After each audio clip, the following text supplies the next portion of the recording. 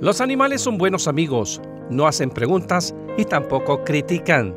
Tienen en ocasiones más amor o gratitud que el ser humano. Ocurra lo que ocurra, Él siempre estará a nuestro lado, en la salud y en la enfermedad, en las alegrías y las penas.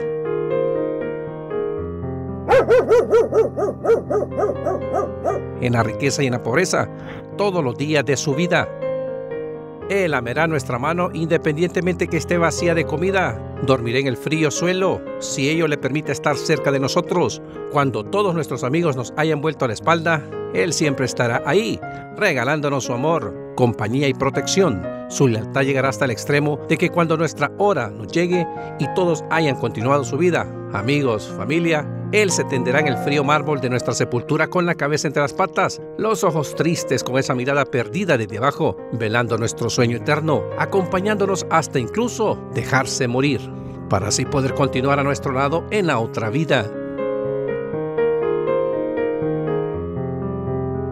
Pero no solo esta lealtad es con los seres humanos, también se da entre perros. Hay casos de canes que se privan de su comida para llevársela al amigo enfermo que no puede moverse. Un gato o cualquier otra mascota puede sentir placer con nuestra compañía, incluso querernos, pero resulta muy difícil imaginar a ninguno que arriesgue su vida para salvar la del ser humano. Sin embargo, puede imaginarse sin problemas a cualquiera de los perros haciéndolo sin vacilar, que siempre guardará su lealtad si la lealtad de los perros fuese solamente un compartimiento instintivo, cualquiera que proteja a un perro podría ganársela, pero bien es sabido por aquellos que tenemos perros que es dificilísimo que un perro cambie la lealtad.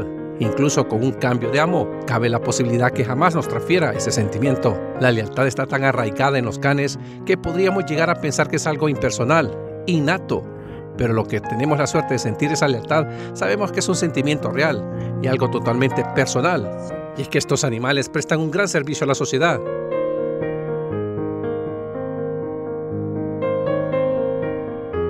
Un caso es con los no videntes. Un perro guía o perro lazarillo es un perro adiestrado para guiar a aquellas personas ciegas o con deficiencia visual grave o para ayudarla en los trabajos del hogar. El perro guía es uno de los tipos de perro de asistencia que existen, posiblemente el más antiguo y más conocido. Es el único legalmente que hoy tiene derechos y privilegios pues se aceptan obligatoriamente en los transportes públicos. Durante el control de las deficiencias visuales, el perro tiene la capacidad para percatarse de los peligros eventuales para el dueño debido a las barreras arquitectónicas de las ciudades, requiriéndose una capacidad bastante alta de inteligencia y nivel de entrenamiento avanzado del animal. Otro caso es el de los conflictos bélicos creados por el hombre desde la antigüedad con los egipcios, griegos, persas, vagandas, aranos, eslavos, británicos, ya en tiempos más contemporáneos, en 1941 a 1945, la Unión Soviética desplegó el perro antitanque contra los tanques alemanes, a pesar de que muchos de ellos se sacrificaron. En 1943 a 1945, el Cuerpo de Marines de los Estados Unidos utilizó perros donados por sus dueños en la Guerra del Pacífico de 1937 a 1945 para la toma de las islas ocupadas por las fuerzas japonesas. Durante este periodo, el Doberman fue el perro oficial de la Marina de los Estados Unidos. De los 549 perros que volvieron de la guerra, solo cuatro no regresaron a la vida civil. Muchos de ellos se quedaron con sus adiestradores. En 1966 a 1973, aproximadamente 5.000 perros de ataque de Estados Unidos sirvieron en la guerra de Vietnam. Estos perros se estima que salvaron más de 10.000 vidas norteamericanas al alertar a los soldados de la presencia de minas o de tropas enemigas. Y es que hay casos de perros que han sobresalido en historia. Laika era una perrita rusa, pasó de ser un corriente animal a ser una estrella mundial. La metieron dentro de una nave para observar la reacción ella fue la primera astronauta en el espacio exterior. Hay perros y perras que muestran más compasión y amor que un ser humano. Tal es el caso de una perra que salvó la vida de un bebé recién nacido que fue tirado a la basura por su mala madre. En Campiña, Sao Paulo, una perra callejera que buscaba alimento en un basurero encontró un bebé aún con cordón umbilical.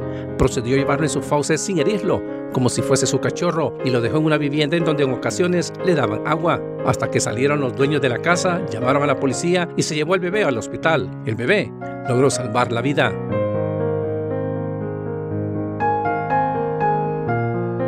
Pero en el balance también hay humanos que llegan a amar a sus perros, inclusive llegan a arriesgar la vida por ellos. Estas son las historias que hacen reflexionar para que usted y yo nos tomemos un momento y reflexionemos sobre la fidelidad y amor que puede brindarnos una mascota por excelencia. Cuide al suyo. Mañana lo podría llegar a extrañar. Jorge Bonilla, Noticieros, HCH.